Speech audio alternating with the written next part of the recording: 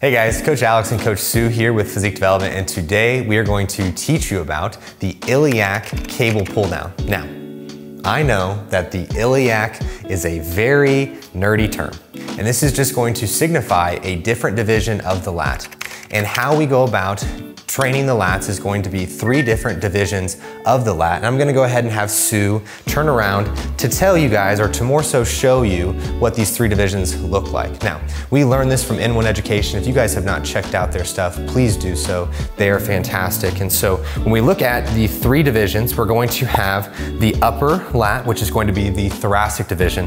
And these fibers are going to run horizontally we're going to have the medial portion of this lat. This is going to be considered the lumbar division. And these fibers are going to run in more of a 45 degree angle. And they're going to kind of fan this way. The division that we are training today with this specific movement is the iliac division.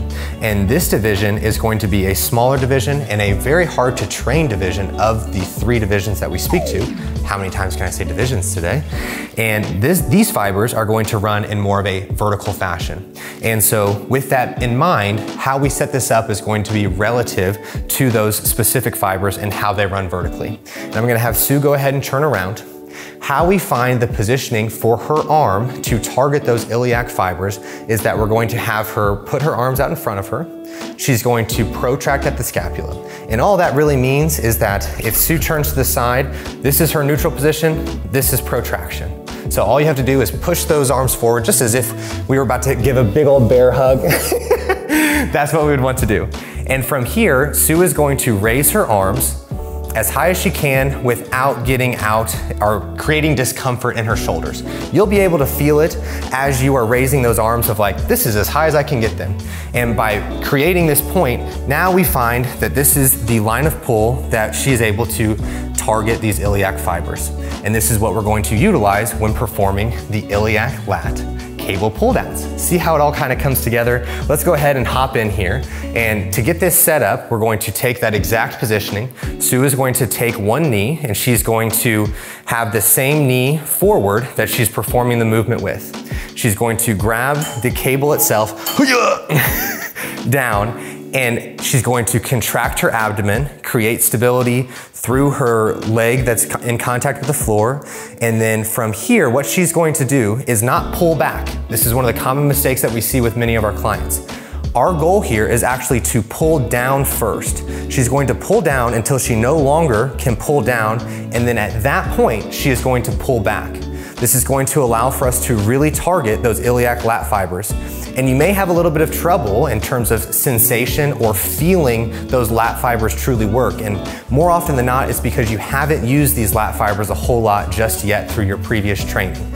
Again, they are fibers that are going to run vertical and they are very hard to target. And this is a movement that lines up extremely well for them.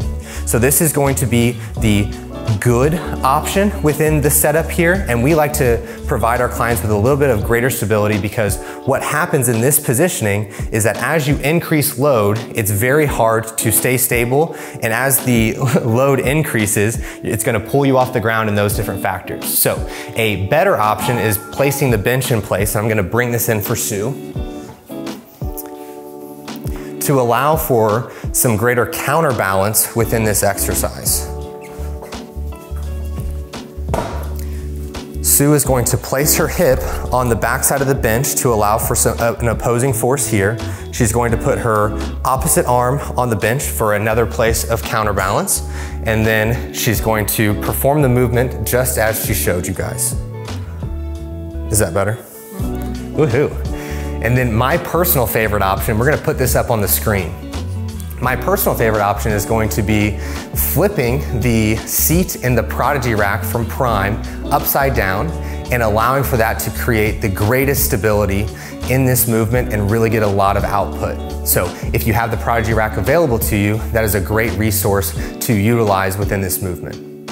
Thank you for watching. If you like this video, you're gonna love this video and love this video. And if you want more from us, check out our website at physiquedevelopment.com.